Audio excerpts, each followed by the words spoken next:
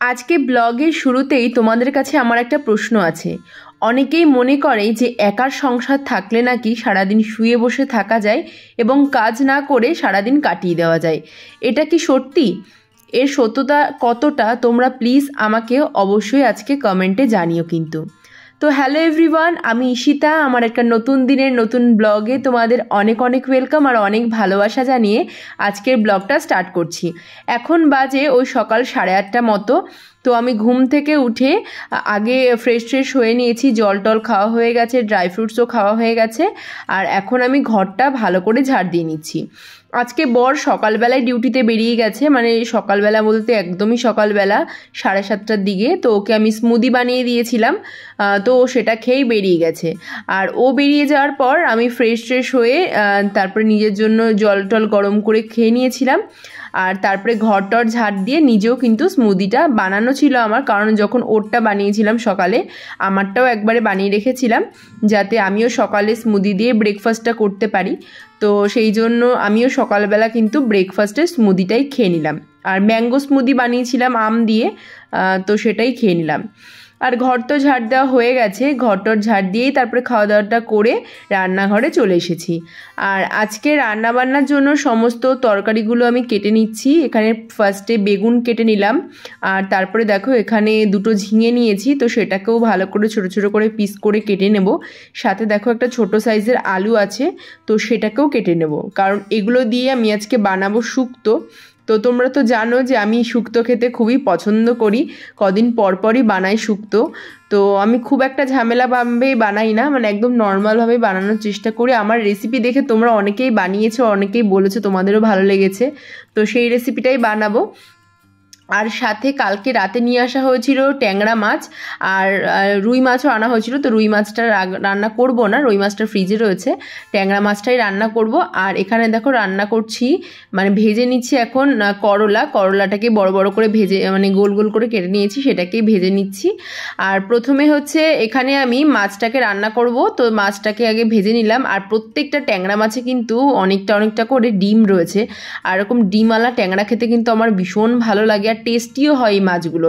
তো সেটাই আজকে রান্না করব। তো প্রথমে দেখো, ওই মাছ ভাজা তালের মানে তেলের মধ্যেই আমি জিরা ফোড়ন দিয়ে মশলাটা দিয়ে দিলাম। মশলার মধ্যে আদা, টমেটো, জিরে, লঙ্কা বাটা রয়েছে। তো সেটাও দিয়ে দিলাম। এইবার হচ্ছে মশলা ধোয়া বাটির জলটাও দিয়ে ভালো করে লবণ, হলুদ আর চিনি দিয়ে মশলাটাকে ভালো করে কষিয়ে নেব। কষিয়ে নেওয়ার পর গরম জল দিয়ে যেভাবে মাছ রান্না করে তো সেভাবেই করব। তো তোমরা তো সবাই জানো যে কে কীভাবে রান্না মানে কে কীভাবে আর কি মাছের ঝালটা আর কি বানায়, তো সেটাই আর কি রান্না করব। আর আমার না ট্যাংরা মাছের ঝাল খেতেই বেশি পছন্দ অনেকে দেখি ঝোল টাইপের করে মানে একটু বেশি বেশি ঝোল টোল দিয়ে, কিন্তু আমার ওই রেসিপিটা একদমই ভালো লাগে না। আমার তো ট্যাংরা মাছ খুব ফেভারিট আর তো সেটাই আমি ঝালই বেশি পছন্দ করি, এরকম নর্মাল ঝাল, তো সেটাই বানাচ্ছি। আর এখানে দেখো মশলাটা ভালো করে কষে যাওয়ার পর আমি কিন্তু দিয়ে দিয়েছি গরম জল। এবার জলটা ফুটে গেলে আমি মাছটাও দিয়ে দেবো। আর এই দিকে শিলনোড়াতে আমি হচ্ছে শুক্তোর জন্য বেটে নিচ্ছি রাঁধুনি আর আদা বেটে নিচ্ছি। তো অল্প অল্প করে দুটো নিয়েছিলাম পরিমাণ মতো। তো সেটাই বেটে নিচ্ছি। আর ও তো আজকে সকাল সকালই বেরিয়ে গেছে, ওর আসতে হয়তো রাত হবে। এবার সারাদিনে মোটামুটি আজকে আমি একাই খাওয়া দাওয়া করব, তো সেই জন্য অল্প অল্প করেই রান্না বান্নাটা করছি। মাছটা যতটুকু ছিল পুরোটাই করছি, যদি থেকে যায় রাত্রেবেলা ওর জন্য কালকে রেখে দেবো মানে কালকের জন্য রেখে দেবো। রাতেরবেলা বেশি রাত করে আসলে তো আর রাত্রেবেলাও বাড়ি এসে খাবে না, খেয়েই মানে বাইরে থেকে খেয়েই আসবে। তো সেই জন্য শুক্তোটাও আমি অল্প করেই বানাচ্ছি। তো এখানে দেখো শুক্তোর মধ্যে মাছের মাথা দিয়ে বানাচ্ছি। মাছের মাথা বা চিংড়ি মাছ এগুলো দিয়ে শুক্তোটা বানালে বেশি ভালো লাগে। তো রুই মাছের মাথা যেহেতু ছিল, আস্ত মাথা ছিল, কিন্তু যেহেতু আমি একা খাব, তো সেই জন্য আস্ত মাথাটা দিইনি, আমি অর্ধেক মাথাটাই দিয়েছি। তো সেটা দিয়ে দেখো এখন আমি বানিয়ে নিচ্ছি শুক্তোটা। প্রায় হয়ে গেছে, একটু ফুটে নিলেই নামিয়ে নেব। আর সমস্ত রান্নাবান্না তো মোটামুটি ওইদিকে হচ্ছে। আর ভাতটা পরে বসাবো, কারণ আমি তো একা খাব, আর একটু গরম গরম খেতেই ভালো লাগবে, তো সেই জন্য ভাতটা একটু পরে বসাবো। তো এখানে দেখো যে কটা বাসন ছিল, আমি সেগুলোকে ভালো করে মেজে নিচ্ছি, আর ট্যাংরা মাছটা তো রান্না হয়ে গেছে, ওটা নামিয়ে নিয়েছি। লাস্টে একটুখানি গরম মশলা দিয়েছিলাম। তো সেটা দিয়ে নামিয়ে নিয়েছিলাম। আর যে কটা বাসন আছে ওগুলোকে এখন ভালো করে পরিষ্কার করে নেব। এরপরে রান্নাঘরটাকেও পরিষ্কার করতে হবে, অনেক কাজ আছে। তো প্রথমে আজকে ব্লগের শুরুতেই তোমাদের সাথে যে কথাটা আমি বললাম, তোমরা কি মনে করো সেটা অবশ্যই আমাকে জানিও।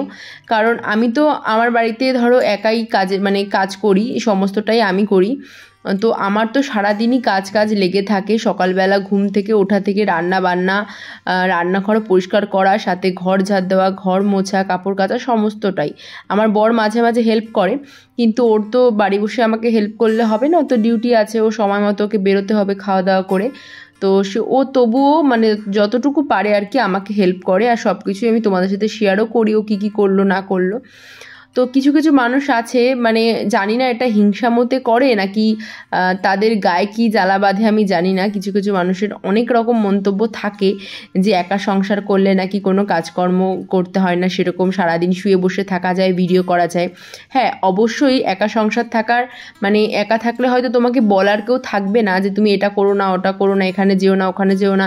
এইসব কথা হয়তো তোমাকে বলার কেউ থাকবে না, কিন্তু সংসারের প্রত্যেকটা কাজ কিন্তু তোমাকে একাকাই করতে হবে। সেটা জুতো সেলাই থেকে চণ্ডীপাত সমস্তটাই কিন্তু তোমাকেই করতে হবে। আমার ঘরে কিন্তু কোনো হেল্পিং হ্যান্ড আমার নেই।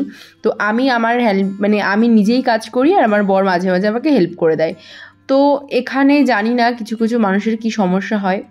আসলে হয়তো তারা জয়েন্ট ফ্যামিলিতে থাকে, তারা ভাবে যে হয়তো নিউক্লিয়ার ফ্যামিলিতে থাকলে তাদের আরও ভালো হতো। মানে তাদের মনে অনেকটা আশা, আকাঙ্ক্ষা থাকে, কিন্তু তাদের মানে তাদের এটা হয়নি বলে তারা হয়তো হিংসা মতো এই কথাটা বলতে পারে। কিন্তু আমার তো মনে হয় যে একা সংসারে আরও বেশি কাজ থাকে, সারাদিন কাজ থাকে। আমার তো সারাদিনই কাজ থাকে, কারণ কার কে কী করে, না করে, কার কী থাকে, না থাকে আমি বলতে পারব না, কিন্তু আমার তো সারাদিনই কাজ থাকে। আমি এরকম ব্যস্ততম জীবনটাই পছন্দ করি। এই সারাদিনে কাজের পর ভিডিও এডিটিং তারপরে পড়াতে যাওয়া রাতের বেলা এসে খাবার বানানো ঘরের এটা ওটা কাজ সমস্তটাই আমার করতে হয় আর আমার ভালো লাগে। নিজের সংসারে কাজ করব, নিজের কাজ করব, তো এতে খারাপ লাগার কি আছে? হ্যাঁ হয়তো শরীর খারাপ থাকলে তখন হয়তো কষ্ট লাগে যে না, আমি পারছি না, করতে পারছি না। যখন আমি পারি না, সত্যি বলতে আমি করি না। আমার যদি আজকে শরীর খারাপ লাগে যে আমি ঘর মুছতে পারছি না, তাহলে আমি সত্যি ঘরটা মুছি না। আমি ওরমভাবেই ঝাড় দিয়ে রেখে দিই। একদিন ঘর না মুছলে মহাভারত সত্যি অশুদ্ধ হয়ে যাবে না। তো শরীর খারাপ থাকতেই পারে মানুষের। তো তখন তো একটু স্যাক্রিফাইস করতেই হয়, আর আমি তো একদমই মানে নোংরা ঘর পছন্দ করি না। তো সেই জন্য আমার আর বেশি কাজ থাকে। হয়তো যারা নোংরাভাবে থাকতে পারে, তো তাদের হয়তো আরও কাজ কম থাকে, কিন্তু আমি তো ঘর পরিষ্কার, পরিচ্ছন্ন মানে টিপটাপ ঘর ছাড়া আমার একদমই ভালো লাগে না। তো আমি চেষ্টা করি সমস্তটাই করে রাখার আর কি।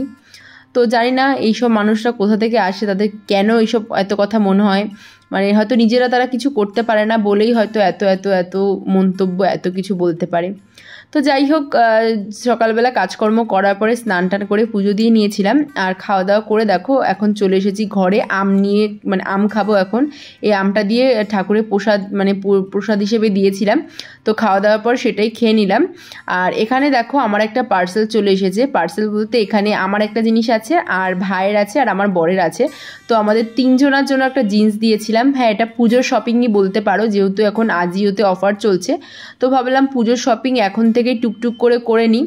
অফার যেহেতু চলছে, তো অফারে জিনিসটা নিলে অনেকটা ডিসকাউন্টে পাওয়া যাবে। বেশ ভালো ভালো ব্র্যান্ডেড জিন্স ছিল, তো আমি দেখছিলাম হট করেই। তো দেখতে দেখতে পছন্দ হয়ে গেছে, তো তিনজনের জন্য তিনটে জিন্স অর্ডার দিয়ে দিয়েছি। দেখো ফার্স্ট এটা আমার, তো আমার না এরকম অ্যাশ কালারের কোনো জিন্স নেই। তো আমার জন্য এটা অর্ডার দিয়েছিলাম, আর এটা লেভিজে ছিল, বেশ কোয়ালিটিও ভালো। কিন্তু সমস্যা হয়েছিল সাইজে আমি যখন পরে পরে দেখলাম যে আমি চৌত্রিশ সাইজ জিন্স পরি ব্র্যান্ডেডগুলো কিন্তু লেভিজের ব্র্যান্ডেড সাইজে এতটা বড় হবে বুঝতে পারিনি। মানে আমার হয়েছে, কিন্তু ঢেলা বেল্ট দিয়ে পরলে হয়তো একটু ঠিকঠাক হবে। কিন্তু যেরকম জিন্সের ফিটিং আসে না, সেরকম আসেনি। মানে যেহেতু সাইজটা বড়, আর পরে এক্সচেঞ্জ করতে গিয়ে দেখি যে ছোট সাইজ নেই মানে বত্রিশ সাইজটা নেই। তো আমাকে এখন চৌত্রিশটাই পড়তে হবে, আর রিফান্ড অপশানও নেই যেহেতু এগুলো অফারের মাল। আর এখানে দেখো বাকি দুটো জিন্স, একটা ভাইয়ের। প্রথম যেটা খুললাম সেটা ভাইয়ের ছিল আর তারপরটা আমার বরের ছিল। তো ওদের দুজনকে আমি একটা কিনে দিয়েছি মানে আমি একটা একটা করে জিন্স কিনে দিলাম। শার্টও অর্ডার দিয়েছি ওদের জন্য। যেহেতু প্রথম আমি পেমেন্ট পেয়েছি, তো আমি চেষ্টা করব এবার পুজোতে মা, বাবা, শাশুড়ি মা, আমার ভাই, আমার বর সবাইকে কিছু না কিছু দেওয়ার। তো সেই জন্য এখন থেকে ওদের জন্য টুকটুক করে কিনে ফেলছি। ওদের জন্য দুটো শার্টও অর্ডার দিয়েছি, সেটা আসলে অবশ্যই তোমাদেরকে দেখাবো। আবার নিজের জন্য কিছু অর্ডার দিয়েছি, সেগুলোও তোমাদেরকে দেখাবো। তারপরে বিকেলবেলা সমস্ত কিছু গুছিয়ে না পড়াতে গেছিলাম, পড়িয়ে এসে রাতের খাবারটা বানিয়ে নিয়েছি, যেহেতু আমি একটু তাড়াতাড়ি খাচ্ছি। তোমরা তো জানো ডায়েট মানে সেরমভাবে ডায়েট করি না, কিন্তু তাড়াতাড়ি খাওয়ার চেষ্টা করি। তো এখন মোটামুটি ওই আটটা মতো বাজে, তো খাওয়া দাওয়াটা করে নিচ্ছি, রুটি বানিয়ে নিয়েছি একটা, আর দুপুরের ওই ট্যাংরা মাছ আর শুক্তো ছিল। তো সেটা দিয়ে খাওয়া দাওয়া করে নেব।